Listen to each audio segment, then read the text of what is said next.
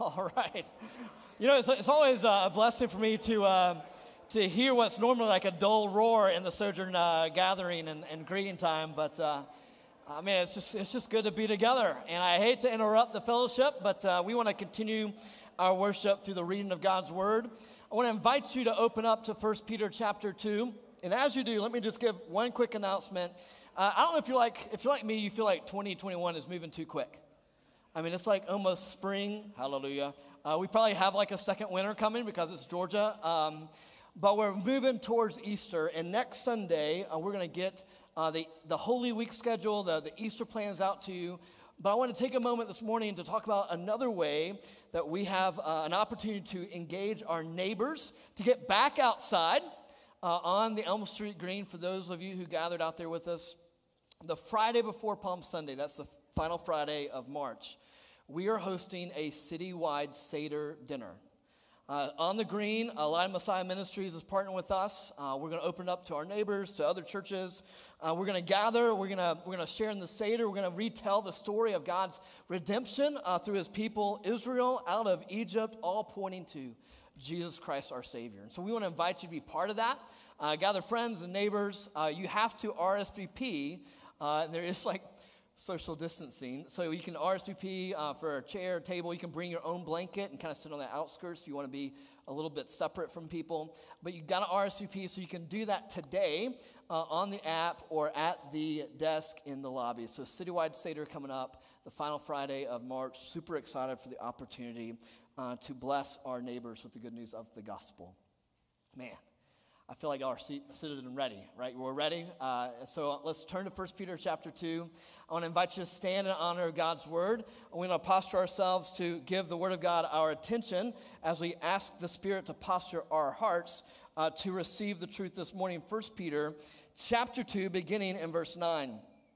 But you, you are a chosen race, a royal priesthood, a holy nation, a people for his own possession, that you may proclaim the excellencies of him who called you out of darkness into his marvelous light. Once you were not a people, but now you're God's people. Once you had not received mercy, but now you have received mercy. Let's pray together. Heavenly Father, as we open your word, we pray your spirit would open us. Uh, that we would encounter mercy and that mercy would move us to live for you. Uh, God, may you bring change, uh, not only in our hearts, but our homes, this community, that Christ may be praised. We ask in his name. Amen. You may be seated. So we're like week five or six on like the same two or three verses. And I find that when we've settled into like one passage or like three words for a long time, we kind of lose the landscape. And so let me just remind you where we've been. Uh, we started 2021 in 1 Peter chapter 1 with the call to hope fully in Christ. Uh, to turn to all, from all the things that we hope in and to hope fully in Him. And hoping in Him frees us to live for Him, uh, to pursue holiness, to be a people who align our lives with God's purposes. We turn to Him, the, the one whom our hope is found, and coming to Him, we're being built up, built up to be a spiritual house. That is to say, the people of God, the community of God, is to be a place where God's presence uniquely dwells. Wherever we go, there God is. Through the people of God, his presence invades the world. And we want this to change how we gather. Not just that we gather, but how we gather. We want to expect more of him. Uh, we are being built up to be a priesthood. Priests are privileged to experience life in God's presence. And in God's presence, they grip the plow and participate in God's work. We draw near to others on behalf of God, and we draw near to, to God on behalf of others. This is our calling. And, and as, as participants, we offer what the what says are spiritual sacrifices, whether they're praise for the glory of God or we offer ourselves in acts of service and love for others. Regardless, we offer Christ perfects. This is the way of Jesus.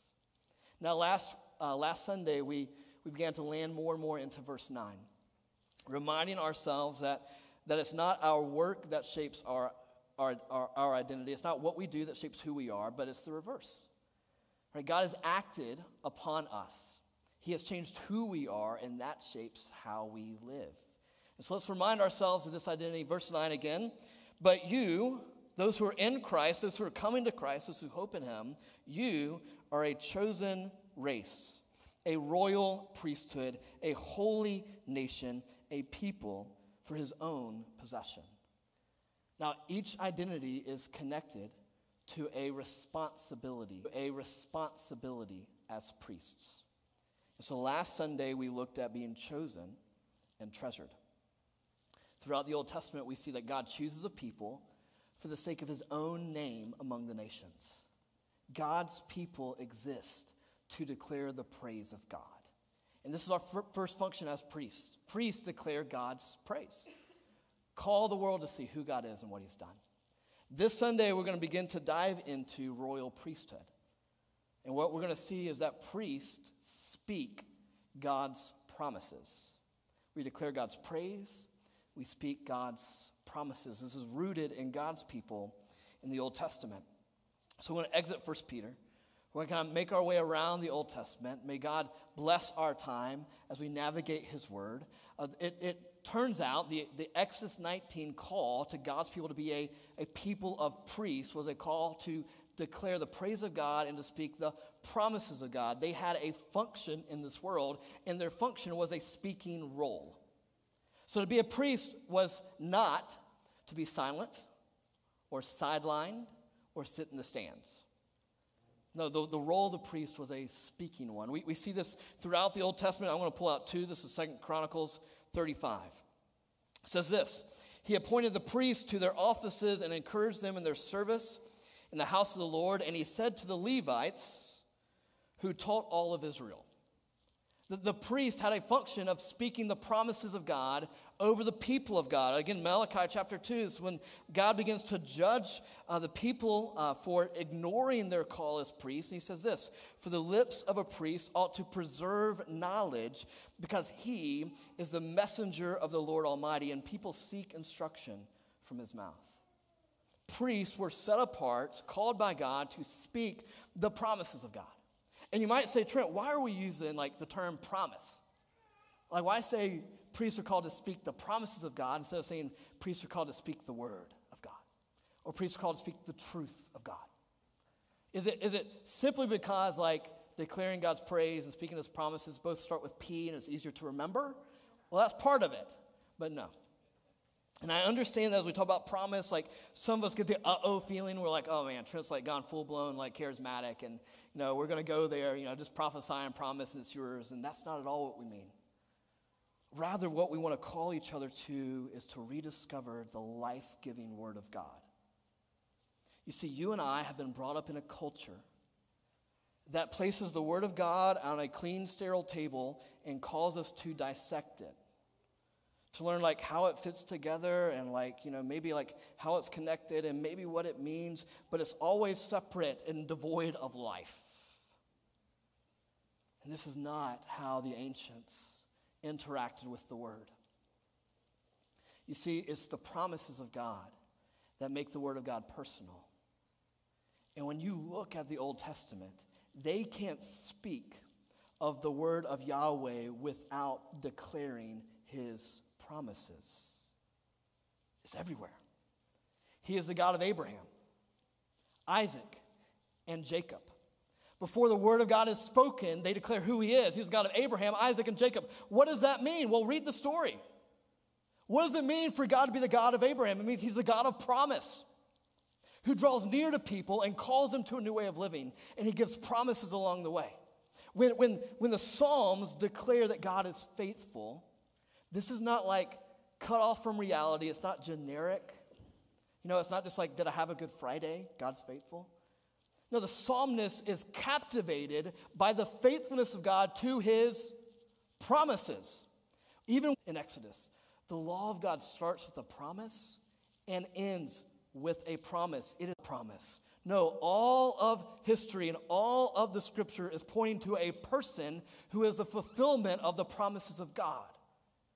This is why the people of God who would stray would be called back to his. This is why they lived the word, consumed the word, loved the word, prayed the word, sang the word, because this was what their hope was in. You and I don't talk about promises often. And unbeknownst to some of us, you are created to resonate with promise. Your heart aligns with promises. Promises are the current, they order your priorities and they shape what you do. Where you went to college was based on promises. The career path you're navigating was based on promises. The dating relationships you got involved in were based on promises. You got the courage to pop the question because of promises. You said yes because of promises. You remind your spouse of that often. Your kids play sports because of promises. You save money or spend it because of promises. Promise is the undercurrent of all of life. It's what causes us to come alive and orders our priorities and all of our actions. The scripture was given to a people who sought to satisfy their promises in other gods and the ways of the world. The scripture is the word of promise.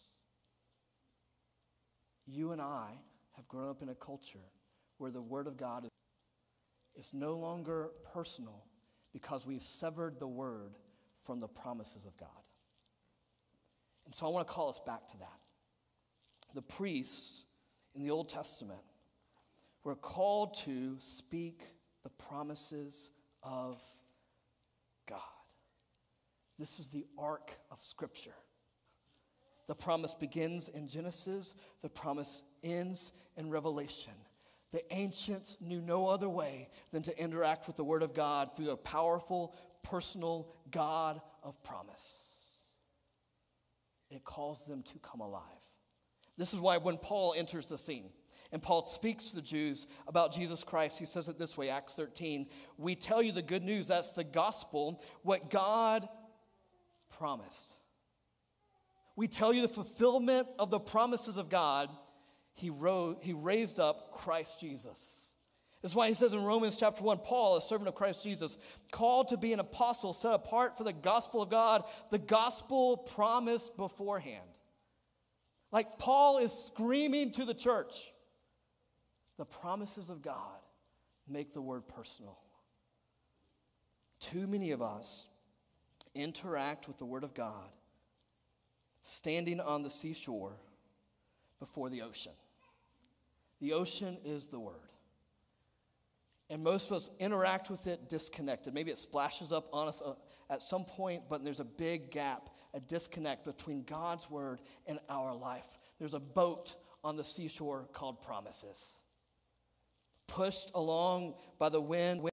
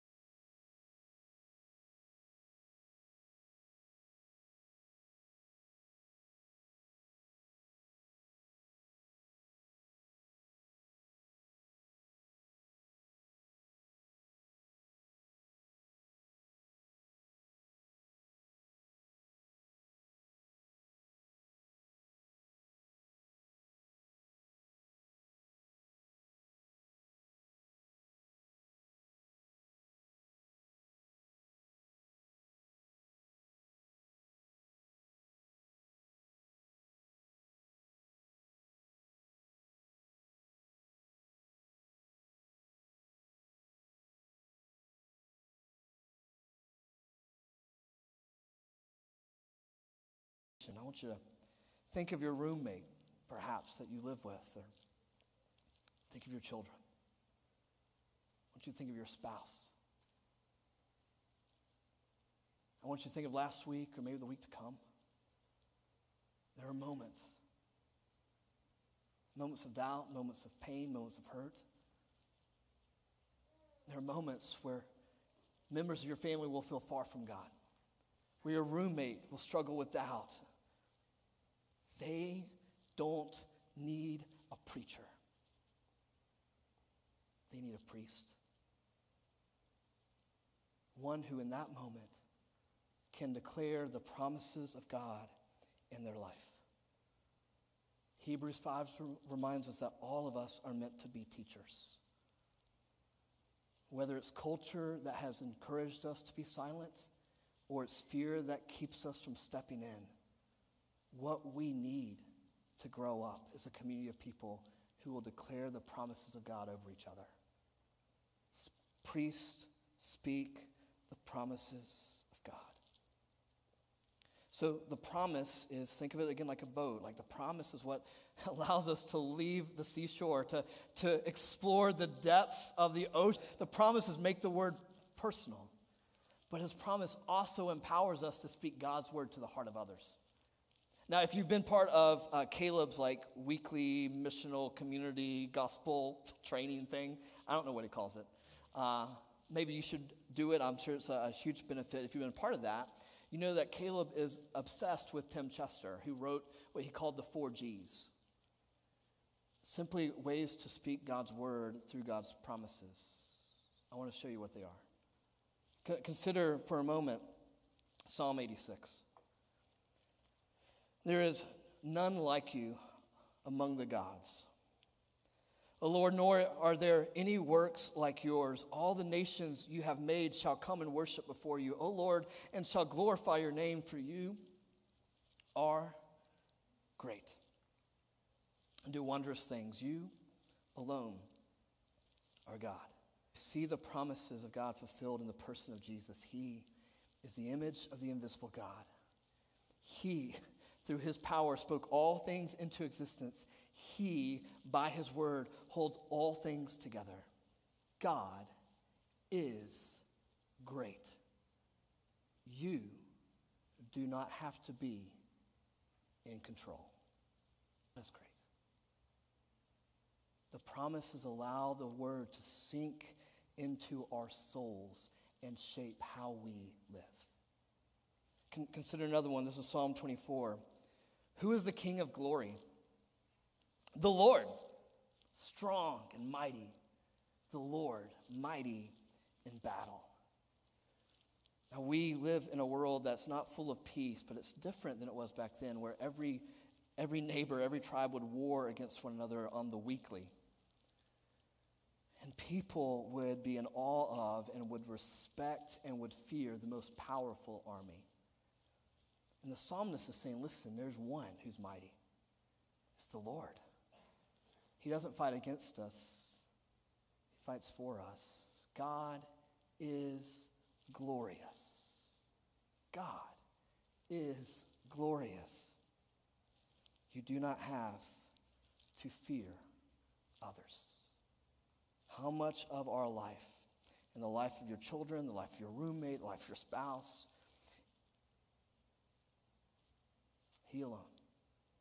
Consider Psalm 30. Taste and see that the Lord is good. Blessed is the man who takes refuge in him. Taste and see that the Lord is good.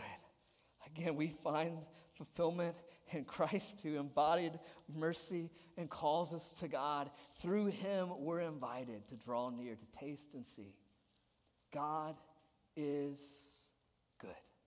God is good. You do not have to look for satisfaction anywhere else. God is good. God alone. Maybe consider Psalm 86. But you, O Lord, are a God merciful and gracious, slow to anger, abounding in steadfast love and faithfulness God is gracious. You do not have to prove yourself. You see, what we need to navigate the complexity, the difficulty, the hardships of this world are people who will make the Word of God personal, who will speak the promises of God to each other, over each other. It's totally fine to like navigate the, the internet and find a good sermon or find a meme on Facebook. Like, all that's great. Priests speak God's promises. Now, maybe you're like struggling already because you're like, I am not qualified. Don't put a lot of weight in your words. Don't do it. I get where you're coming from. I get where you're coming from. Maybe you'd say, Trent, like you have a degree to teach the Bible. Priests are not professionals. Don't go there. Three things. Three things I want to invite you into this week. Priests who speak the promises of God, first, consume the Word of God. You see, our, our tendency when we hear things like this is to say, Trent, we need a new training program. I need to be thoroughly equipped and trained up to do this.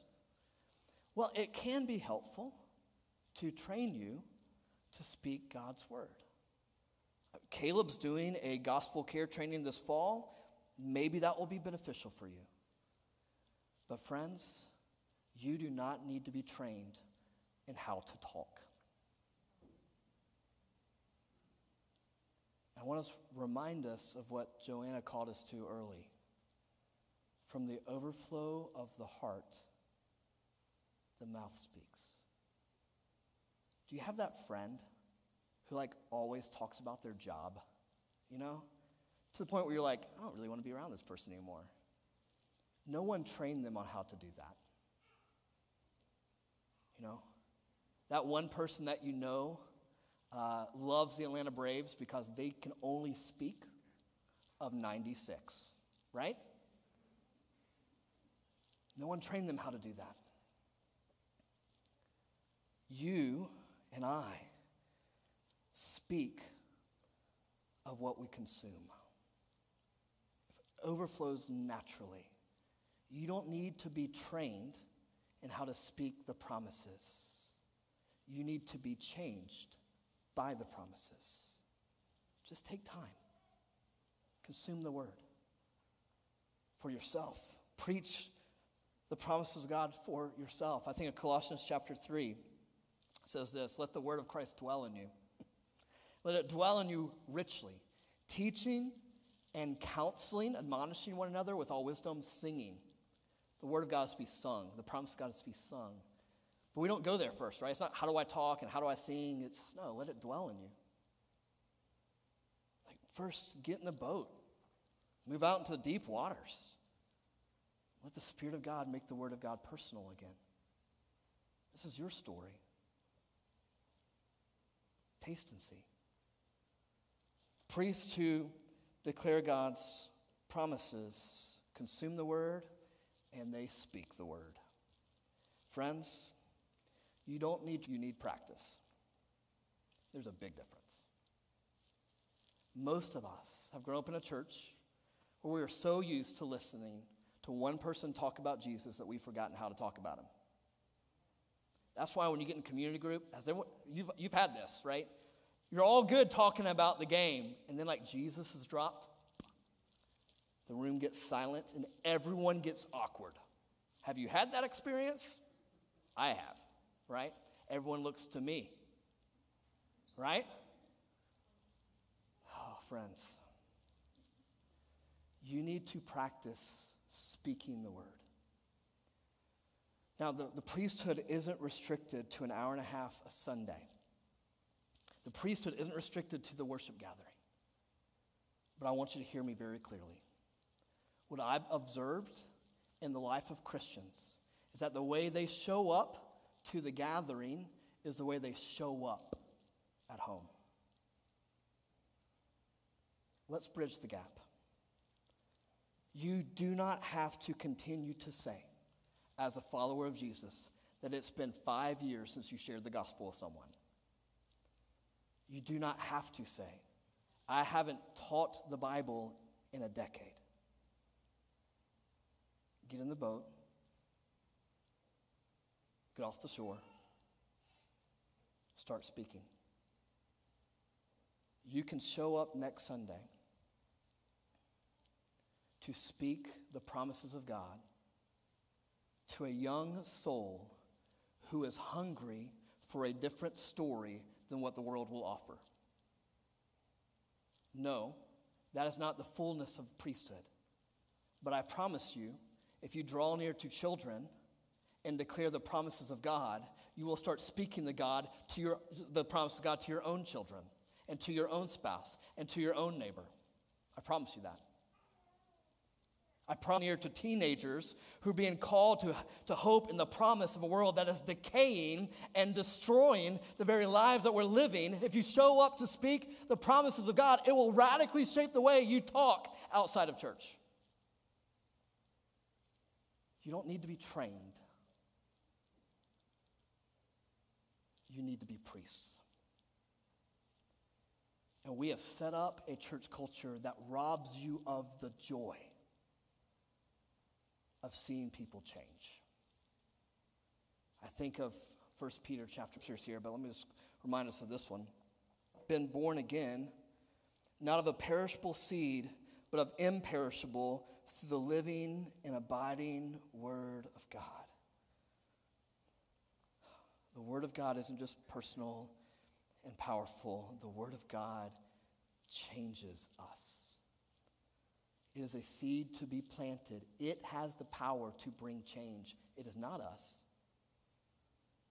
When you and I give ourselves to the work of speaking the Word of God to others, we make ourselves available to be tools of lasting change. It's time to expect more. Finally, priests who speak the promises of God pray the word. Pray the word. I just pulled John chapter 15. Christ speaking to his disciples said, If you abide in me, that is, if you trust in me, you wait in me, you rest in me, and if my words abide in you, ask whatever you wish, and it will be done. Jesus makes a connection between our experience of the presence of God and our consuming, consistent dwelling in the Word of God to a vibrant, fruitful prayer life. This is why the early church, the first prayers recorded for us in the book of Acts, quoted Scripture. It's why Jesus on the cross quoted Psalm 22. When the Word gets inside of you, everything changes. Consume it, speak it, pray it. We want to be a people who grip the plow and be, to become tools of lasting change. It is not our words that are weighty, it's His. Offer. Let Him perfect. Many of us have been blessed by the ministry of prayer from one individual at Sojourn. If you're a lady at Sojourn, you've received cards in the mail, prayers and scriptures. And I've asked Maritza to come up here and to lead us in prayer. There's going to be a, a moment to not only pray together, but to take a, a moment of silence to move towards the Lord in prayer. We want to do that in faith right now.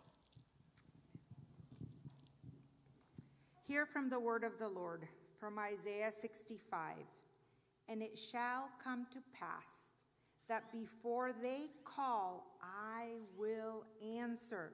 And while they are yet speaking, I will hear. Let us pray. Lord, teach us to pray Some of us think that we're not skilled in the art of prayer. Remind us that as we draw near to you in thought, our spirits long for your spirit and reach out to you, longing to feel you near. Help us, Lord, to express the deepest emotions that lie hidden in our hearts. Help us, Lord, to marvel at the mystery of your love that can regard our lowest state and can be concerned with our weaknesses and our needs when you have so many children all around the earth with so much need, so much sin, and so much sorrow. Yet, in your great love, you have stooped to listen to us. May the wonder of it all enthrall our hearts and the meaning of it captivate our will. Lord, make strong our faith that you are listening to us, even that the petitions rising from our hearts are heard by you and have set in motion through your divine love your help and assistance. You have invited us, Lord, to ask, to seek, to knock, assuring us that if we ask, it shall be given to us. If we seek, we shall find. If we knock, it shall be opened. Help us to believe that, O oh God. Give us the faith to ask, knowing that we shall receive. Give us the faith to seek, believing that we shall surely find. Give us the faith and the persistence to knock, knowing that it shall be indeed open to us. With this faith, I ask you all to take a moment and pray silently to the Lord right here where you are. Tell now your own needs to Him who acts for you by appointment, waiting to speak to you reassuringly, comfortingly, forgivingly. Now let us speak to Him and hear Him speak to us.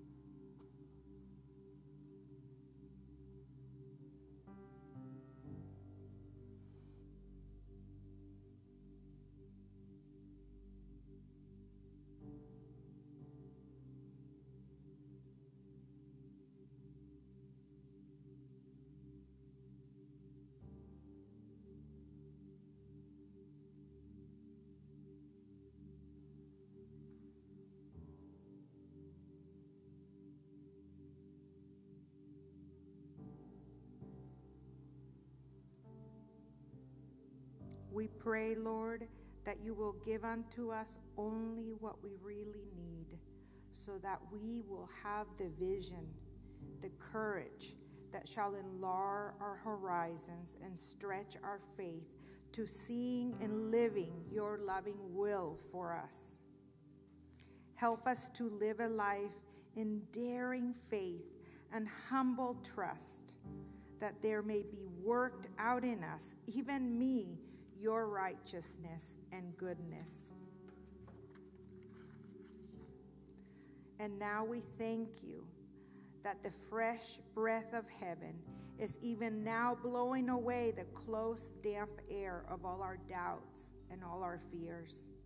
We ask, Lord, that through all our prayers, you refurbish our faith you brighten our hopes. You revive and rekindle our love for you. We pray all this in the name of your Son, Jesus. Amen.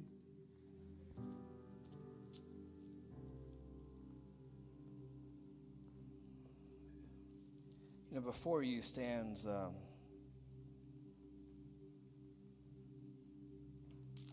a failed priest failed father. So many of you may be wrestling and you're like, you're a parent, whether your kids are 8 or 18 or 48, you can't convince people to follow Jesus.